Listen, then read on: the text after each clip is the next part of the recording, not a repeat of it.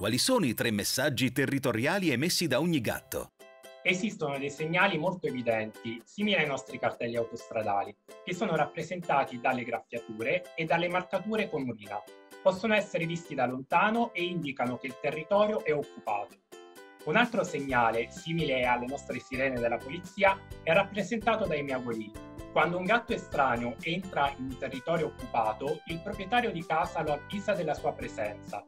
Ci sono poi segnali meno evidenti, simili ai nostri numeri civici, rappresentati dalle marcature con feromoni. I gatti si strofinano con il muso e con il corpo ad oggetti, persone e altri animali. In questo caso il segnale ha anche un effetto rassicurante. Passandoci vicino capirà di essere a casa sua.